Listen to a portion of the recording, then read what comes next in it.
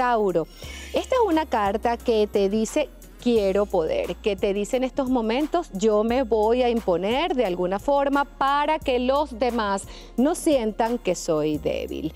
Estás tratando de pasar como de un escalón a otro, de un puesto a otro, pero no te vuelvas la bruja mala, no te vuelvas aquella persona que trata de ser la mejor con maldad o con esas cositas que no se dicen desde el corazón.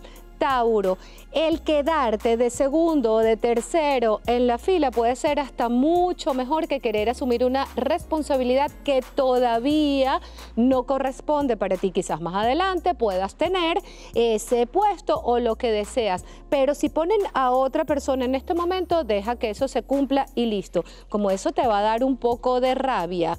Y es que sí, como no, pasa. O hasta de envidia, sí, como no, pasa. Agarra alguna bombita, agarra algún saumerio y limpia sobre todo la zona de tu cabeza para que veas los pros y los, compras, los contras, asumiendo que el tiempo va a llegar cuando corresponda. Quizás ahora no es el momento.